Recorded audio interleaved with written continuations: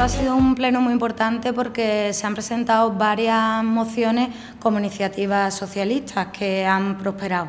Nosotros todos los meses intentamos hacer un trabajo positivo, de aportar ideas, de aportar medidas y desgraciadamente muchas veces ni siquiera llegan al Pleno, pero esta vez han, llegado algunas. El primer punto que se debatió, de hecho, que son unas ordenanzas de convivencia ciudadana, es una reivindicación histórica del Partido Socialista y el documento que finalmente se ha aprobado estaba un poco hecho en base a, nuestra propuesta. Eh, desgraciadamente no se han admitido a trámite las alegaciones que algunos ciudadanos habían presentado. Nosotros, no obstante, queremos darle las gracias a todos esos utreranos y utreranas que se han preocupado de leerlo y de intentar mejorarlo con sus aportaciones. Después, como propuesta nuestra, también ha salido aprobada en este Pleno una moción contra la pobreza infantil. Nos parece un tema especialmente sensible, puesto que quienes más están pagando la crisis económica, como ocurre con todas las crisis económicas, son los más débiles, en este caso los niños y, las niñas la propuesta ha podido salir para adelante, hay algún voto eh, que no la ha apoyado, que nos cuesta mucho trabajo eh, comprender cuando simplemente se trataba de pedir que se trabaje más por los niños y por protegerlos en, esta situación de, de crisis económica. Por otra parte, otra de las medidas que llevamos a este pleno y que desgraciadamente para nuestro disgusto no ha salido para adelante, era la puesta en marcha de un plan de empleo de, emergencia. Creemos que la situación de precariedad de muchas familias de utreranos ha llegado ya a unos límites insostenibles. Llevamos reivindicando desde hace mucho tiempo que desde los ayuntamientos se pueden hacer cosas para generar empleo a nuestro grupo y a la sede de nuestro partido político vienen a diario utreranos y utreranas que tienen problemas, que tienen caras, que tienen nombre y apellido. Y nosotros no podemos darle una explicación y no podemos explicarle que desde el ayuntamiento no se está haciendo nada. Hay situaciones como gente a la que le falta muy pocos días para poder tener derecho al paro, a una ayuda, al desempleo. Antes cuando había más bolsas y se trabajaba, desde el ayuntamiento se daba cobertura, se le facilitaban 10 días de trabajo a muchas personas, 7 días, en fin, lo que hacía falta. Ahora hemos asistido a una privatización encubierta de muchos servicios públicos, como el tema de la limpieza, como el tema de control de acceso a los espacios deportivos, que ha quitado toda, toda esa oportunidad que existía para mucho personal de encontrar unos días de trabajo que venían, que venían muy bien. Nosotros, como decía, hemos reivindicado muchísimo que se reúna la mesa por el empleo. Durante este año no hemos dejado de hacerlo. Hemos presentado un plan para el empleo desde el, Partido Socialista porque creemos que es factible hacer cosas que pueden solucionar, no solucionar, pero sí por lo menos facilitar o calmar un poco ¿no? la tragedia que viven muchas familias utreranas y nos hemos llevado la sorpresa una vez más de que este plan lo han rechazado y nos lo han, nos lo han vuelto atrás. ¿Qué? ¿Por qué? Para nosotros no tiene explicación. Yo creo que es una cuestión de convencimiento. Para nosotros siempre la explicación que se nos ha dado es que las políticas de empleo no eran una competencia municipal. Claro que no, pero es que desde los ayuntamientos se genera empleo.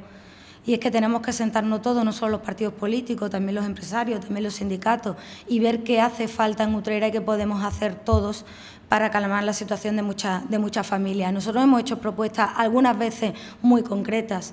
Sin ir más lejos, por ejemplo, en, este pleno hemos propuesto que las comisiones, las juntas de gobierno local, que como ya la mayoría de los utreranos saben, los concejales del gobierno que asisten cobran por, por asistencia, se están celebrando una cada semana y se están cobrando una cada semana. Esto está generando unos sobresueldos y unas cantidades económicas muy importantes, ¿no? Hablamos, mínimo de, de 200 euros por asistencia. Nosotros hemos concretado, por ejemplo, que entenderíamos que esa Junta de Gobierno local, si entienden que tienen que hacerla todas las semanas, la sigan haciendo todas las semanas, pero no hay por qué indemnizar la asistencia de todas las semanas, sino que se haga una vez al mes, por ejemplo, con un máximo de 12 meses. Esto supondría un, ahorro importante que en el día de hoy nuestro portavoz José María Villalobos ha propuesto al Pleno que fuera un ahorro que se dedicara a este plan, plan de empleo de emergencia.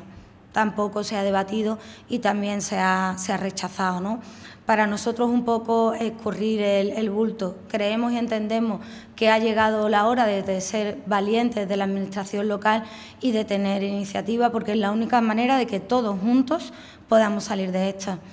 Nos hemos ofrecido al Gobierno, al alcalde y a todo el Gobierno para que en medidas de ese tipo cuente con nosotros para todo, pero siempre con un criterio y con una, y con una prioridad real.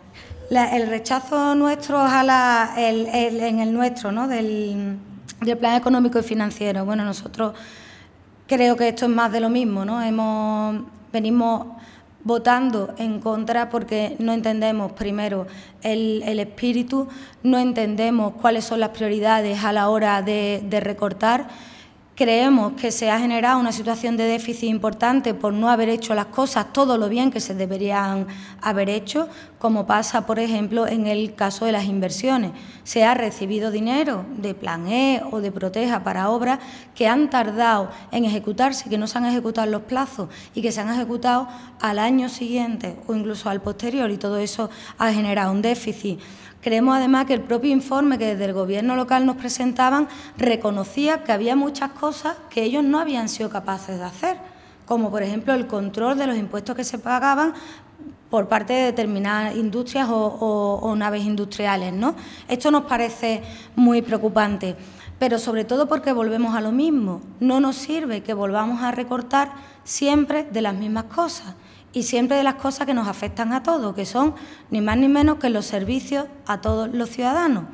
Y que, sin embargo, no hagamos recortes en cuestiones que creemos no deben ser prioritarias y que ahora mismo deberían de resultar un ejemplo para la población de Utrera y empezar mirándonos el ombligo y recortando y recortando como en el ejemplo que os ponía anteriormente estos sobresueldos que algunos concejales que están en el gobierno y tienen su trabajo y cobran su sueldo y cotizan a su seguridad social, pues luego perciben indemnizaciones de bastantes miles de euros en el ayuntamiento de Utrera, ¿no? Creemos que sería una de las cosas en las que se podría atajar. Sí, eh, uno de los temas sin ninguna duda que tenemos la, obligación de sacar a colación es el, tema de la asistencia sanitaria a los funcionarios de este ayuntamiento, a los funcionarios anteriores al año 1993. Nosotros hemos votado en contra de este punto, ha votado también en contra UPD y el portavoz de, Izquierda Unida y es una aprobación que ha salido para adelante con el apoyo del PP y del Partido Andalucista. Nos ha sorprendido mucho porque si bien es verdad que no lo habíamos debatido hasta ahora en el Pleno, también es cierto que no menos veces lo habían intentado traer al Pleno. Y a todos nos consta, porque aquí nos conocemos todos, y a los propios funcionarios les consta y a los otros partidos políticos, que el PP hasta ahora, la postura que, había mantenido era de alguna manera de rechazo hasta el punto de que lo frenaba. No sabemos qué ha ocurrido, no sabemos qué ha cambiado, pero de repente pues el asunto viene a pleno, viene además sin pasar por una comisión informativa, sin que nosotros podamos resolver con los técnicos muchas dudas que tenemos con, con esta medida y sale para adelante. Para nosotros no es una cuestión de defender la sanidad pública ni la privada, porque yo creo que en mi grupo hay muy poca gente que pueda tener dudas, nadie sobre nosotros a nivel personal hasta qué punto defendemos la, sanidad pública, sino que es una cuestión mm, de derechos adquiridos de los trabajadores, de derechos que se le han reconocido, de cosas que además no se están ampliando, sino que es algo que se va a extinguir. Coincide además con mm, los trabajadores de más edad de este ayuntamiento, muchos de los cuales tienen enfermedades crónicas, llevan muchísimos años yendo a su mismo especialista y todo esto entendemos que les supone un trastorno. Y más cuando nadie, hasta el día de hoy, ha sido capaz de explicarnos realmente y objetivamente con un informe técnico riguroso cuál es el ahorro, ese ahorro supuesto que se le va a hacer al ayuntamiento anualmente. A nosotros esos papeles no nos lo han enseñado. A nosotros nadie nos ha demostrado que el ahorro vaya a ser mayor que con cualquiera de las medidas que nosotros hemos enumerado aquí hoy.